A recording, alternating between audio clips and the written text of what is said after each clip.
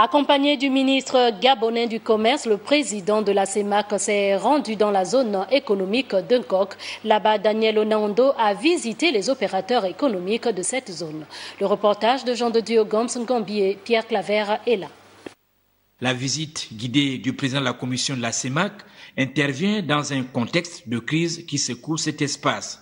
Cette visite en coq avait pour but de donner le ton d'une approche beaucoup plus stratégique auprès des opérateurs économiques en matière de circulation des produits entre pays membres. Nous avons obtenu des explications très claires et du président de la Commission et des experts qui sont venus avec lui, des explications sur la, la libre circulation des produits, mais libre circulation des produits conditionnés par l'obtention de cet agrément.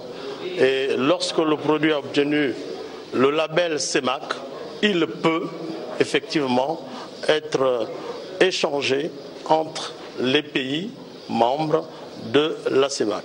Accompagné des experts, Daniel Onaondo a engagé un dialogue direct avec les opérateurs économiques sur les modalités d'agrément CEMAC. Aujourd'hui, les pays qui ont plus de résilience au niveau de l'économie, qui ont plus supporté la chute du prix du pétrole, c'est les pays qui ont diversifié.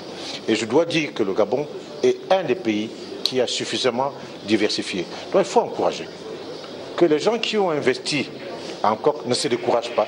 Donc l'objet aujourd'hui, c'est aussi que le modèle gabonais serve d'exemple dans la sous-région pour d'autres pays qui ont envie de faire des zones, qui sachent que voilà les difficultés que les autres ont eues, nous devons sortir de ces difficultés en procédant de telle et telle manière. Ce projet d'envergure s'appuie sur deux leviers essentiels, le bureau de coordination du PSGE et l'ANPI Gabon, qui jouent le rôle de sentinelle. Le 8 février prochain, les pays membres de cette organisation vont adopter le code de douane CEMAC. Cela augure une nouvelle ère au sein de cet espace sous-régional.